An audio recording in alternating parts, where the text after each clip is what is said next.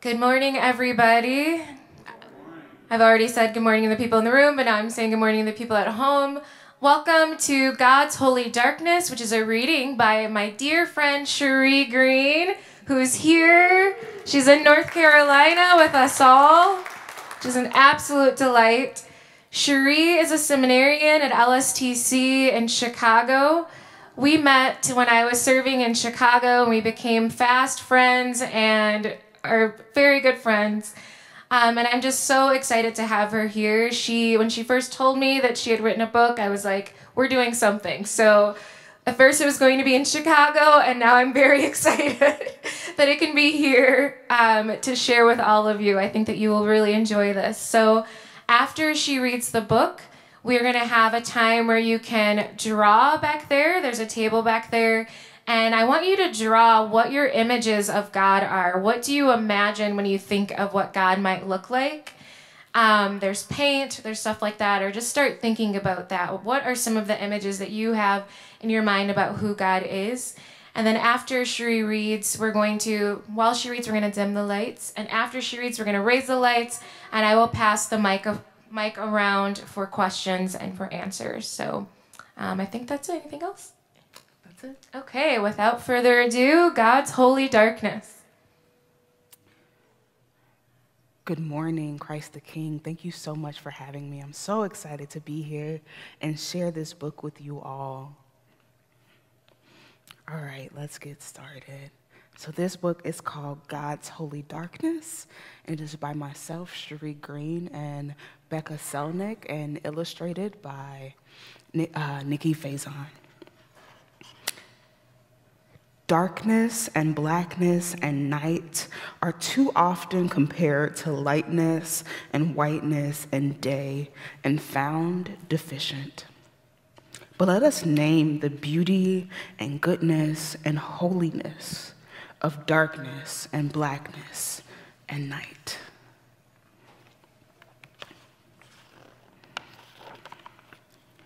God uses darkness and blackness and night to show love for the world.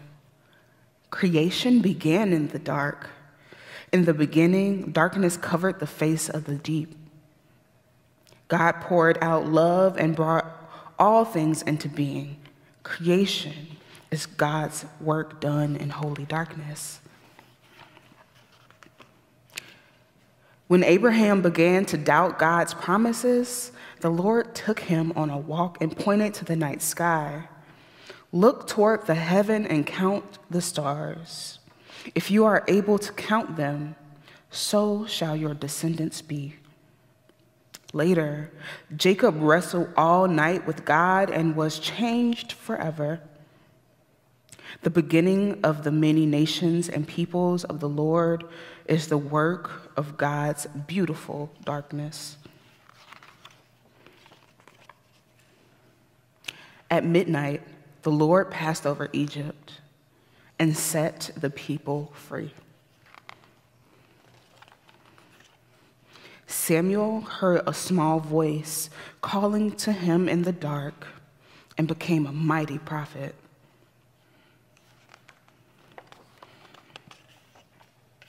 When the temple was complete, King Solomon said, The Lord has said he would dwell in thick darkness the Spirit of God dwells in the holy darkness where we are invited to be held in God's love. Angels appeared to the shepherds in the dark and told them of a baby in a manger. The disciples gathered with Jesus for the Holy Supper as the day turned to night. when Jesus died on the cross, the day went from black, went black from noon to three. Creation began in holy darkness, and our new lives as free people in Christ began in the darkness of the sky that day. God saved all creation, and it was the work of God's beautiful, good, and holy darkness. Rich black soil brings forth abundant life. Unless a grain of wheat falls into the earth and dies, it remains just a single grain. but if it dies, it bears much fruit. The deep dark of the ocean holds more life than even has been discovered. And we are reminded of the size of God's creation through the boundless, beautiful black of outer space. From the beginning of creation to the stars in the night sky, we are shown God's love. In houses of worship with dark spaces for wonder, we are held in God's love. In the dark soil and the deep sea, we are reminded of God's love.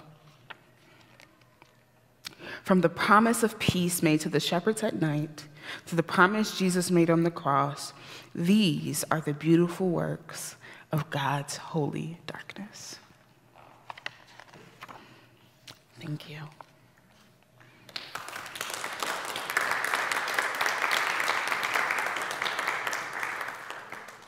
I'm wondering about how would you feel about reading the note for caregivers? Absolutely. Thank you.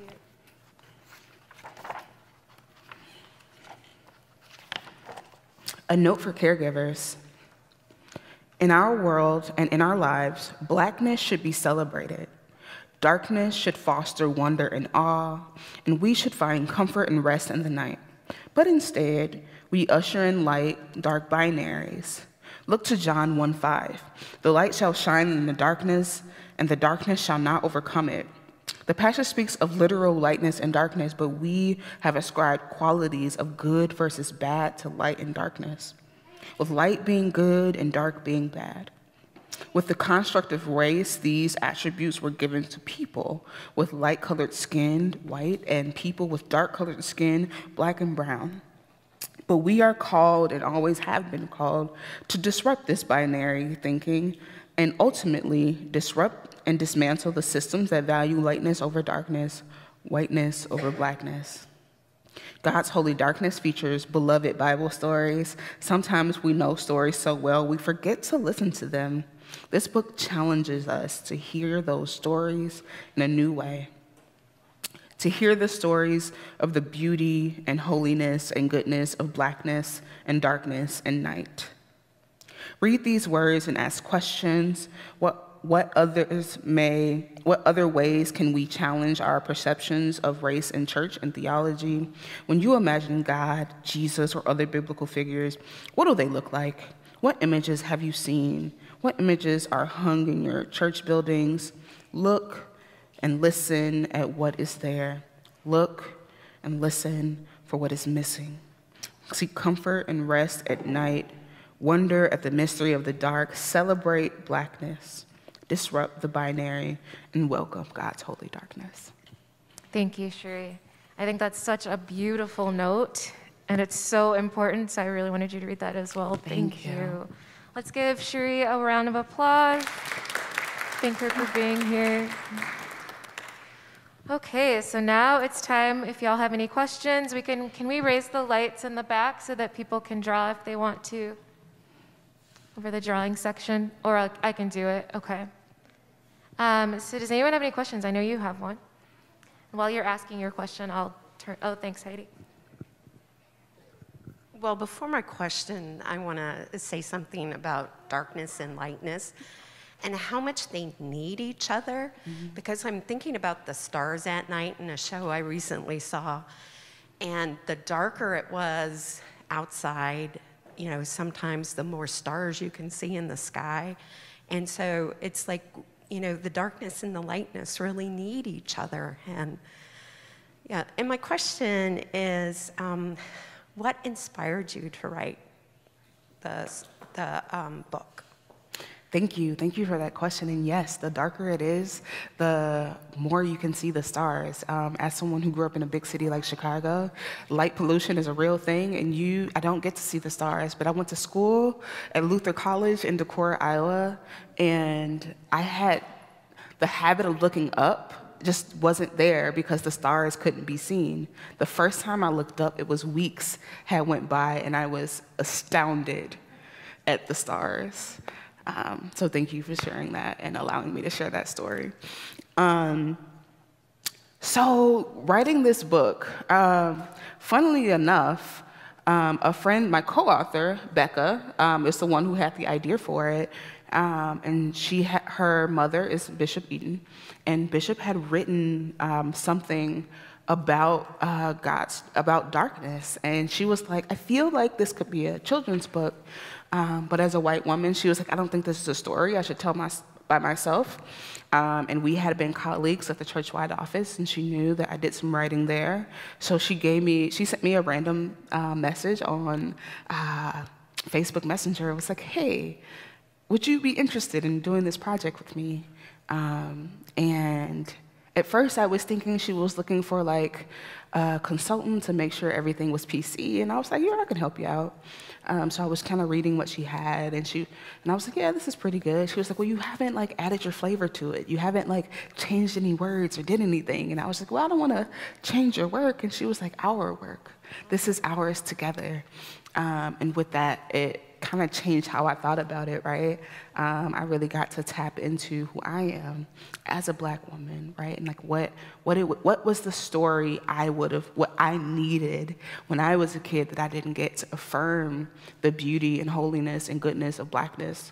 Um, and so from there, I jumped into the project wholeheartedly uh, and actually uh, introduced Becca to uh, Nikki Faison, who's a really good friend of mine. I was like, if you're looking for an illustrator, I know a great artist. Um, and so together we've been on this journey since like fall 2020. It's a beautiful book. Thank you. Any more questions?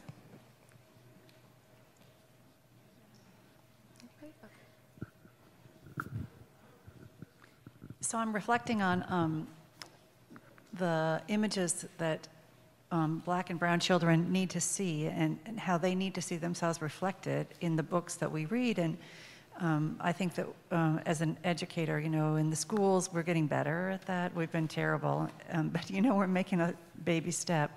But I wonder if you see a, um, a corresponding growth in Sunday school materials, you know? Like, what are we feeding our children at church? And are we reflecting black and brown children in our materials? Um, I think there, like uh, like you said, we're getting better, but there's still a great lack of um, diverse materials for people to see themselves reflected. Um, in more than just every now and then you'll get like a, a like vacation Bible school or a Sunday school curriculum curriculum where there'll be maybe images. Uh, there might be like the one brown kid um, or the one black kid, but um, none of the actual text or material is reflective.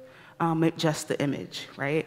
Um, and I think like um, so. Yeah, there's much work to be done to um, go beyond just having an image to reflect diversity. The words matter, right? And the words that we emphasize matter, right? Because the words can be there, but if, like, like we said in the book, if we know a story really well, we can skip over um, those parts, right? Um, so, yes. I hope I answered your question. Sharei, what might that do for um, children, for future generations to have themselves reflected in the image of God? Um, so I'll tell you a little story. I'm a storyteller, so I do everything in story. Um, so um, when Nick first presented her image of God that she wanted to use for the book, um, while we do not gender God in this book, it was uh, the imagery, while you never see their face, is intentionally feminine, right? Intentionally thick, intentionally have long silver locks, right? And as a fat black woman with locks, my first time seeing it, I wept, like full blown ugly cried, because I was like, wow, I see myself in God, right? And like I, as someone who I always see myself as being a part of the Imago Dei, I had never seen it represented as something I could look at, right? Um, and so like that imagery like really did something to me. And I, I'm like shaking just thinking about it. It still, does something to me to like see it physically represented as like I am made in the image of God, like we all are. Um, and I'm sorry, Nakia, I've lost the question in telling my story. What was the original And I question? loved it. I said, what might it do for future generations? But I was also going to say about people in our generation or anyone having themselves reflected in the image of God. Ah, yes. And so it is so affirming to like have like a to see yourself reflected and it, it really changes how you it can change how you show up, right? Like if you like it's um it can inspire a boldness that may not be there.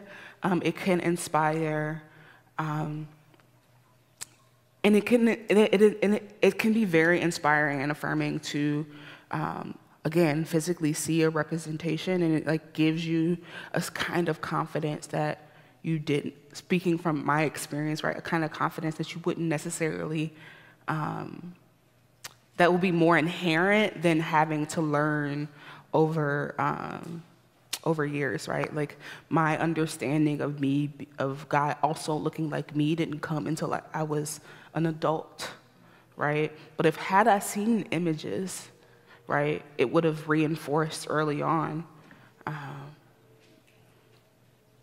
that I was also made in the image of God, and it wouldn't have to be something I learned, and like having to unlearn, right, all the things that. Um, unlearning is much more harder is much harder than um, so i hope that was clear No, that was good. I think people who have the privilege to grow up thinking that they might be in the image of God have a different sense of self worth already. And so having to unlearn the harm that happens when you are told that you are so far from the image of God and the empowerment that comes when you're told, no, you are the image of God. So thank you for being vulnerable.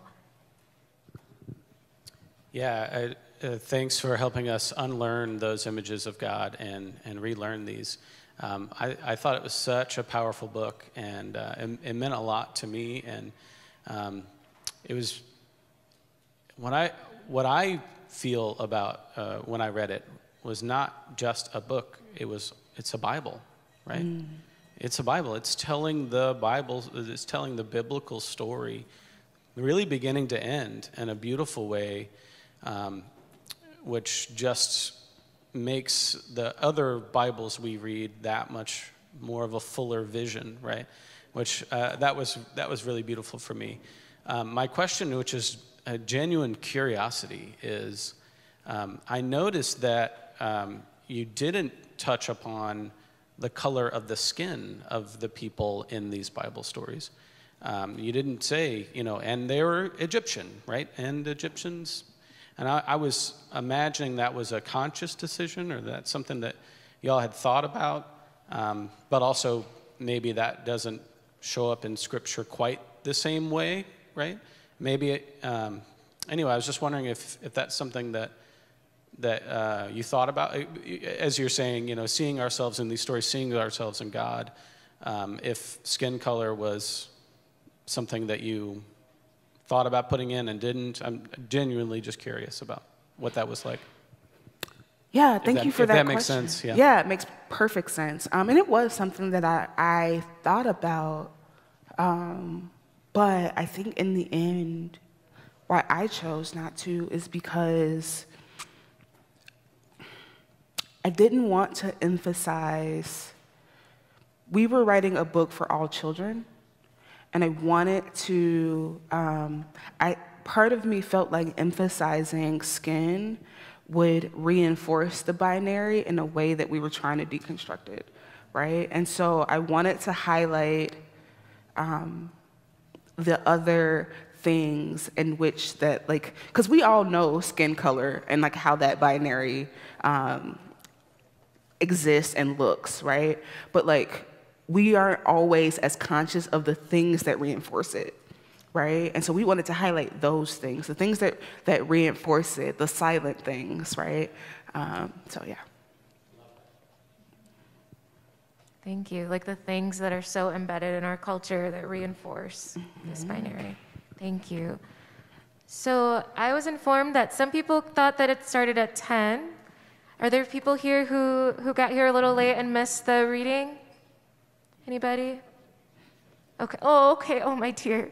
So uh, we have time. Sharei, would you mind reading it again? I would not. Okay. Darkness and blackness and night are too often compared to lightness and whiteness and day and found deficient.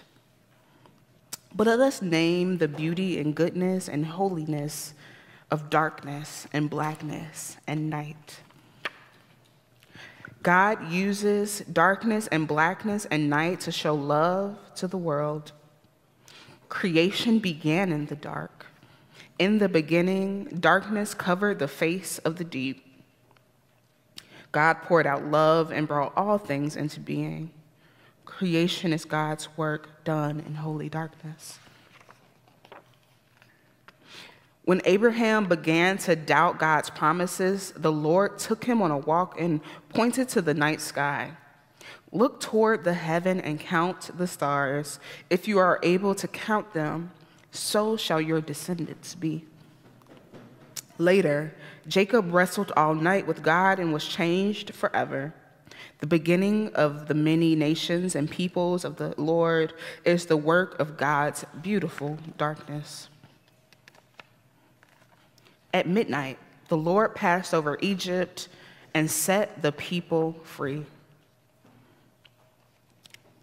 Samuel heard a small voice calling to him in the dark and became a mighty prophet. When the temple was complete, King Solomon said, The Lord has said he would dwell in thick darkness. The Spirit of God dwells in the holy darkness where we are invited to be held in God's love. Angels appeared to the shepherds in the dark and told them of a baby in a manger. The disciples gathered with Jesus for the Holy Supper as the day turned to night. When Jesus died on the cross, the day went black from noon to three. Creation began in holy darkness, and our new lives as free people in Christ began in the darkness of the sky that day. God saved all creation, and it was the work of God's beautiful, good, and holy darkness. Rich soil, rich black soil brings forth abundant life. Unless a grain of wheat falls into the earth and dies, it remains just a single grain. But if it dies, it bears much fruit. The deep dark of the ocean holds more life than has even been discovered. We are reminded of the size of God's creation through the boundless, beautiful black of outer space. From the beginning of creation to the stars in the night sky, we are shown God's love. In houses of worship with dark spaces for wonder, we are held in God's love. In the dark soil and the deep sea, we are reminded of God's love. From the promises of peace made to the shepherds at night, to the promise Jesus made on the cross. These are the beautiful works of God's holy darkness. Thank you. Mm. I feel like it was even more powerful hearing it a second time after hearing you answer the questions. So thank you so much for Yeah, doing that absolutely. again. Does anyone else have any questions or even comments that you want to share? Okay.